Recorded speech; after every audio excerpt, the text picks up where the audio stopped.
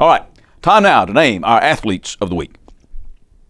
For the boys, Tyler Harney, North Georgia Christian, for his 168 yards and five touchdowns in the Chargers' big win over Twiggs, and for helping his football team to a 7 and 1 overall record. And for the girls, Megan Cox of North Hall Volleyball for her role in helping the Lady Trojans into the Elite Eight for the very first time in school history.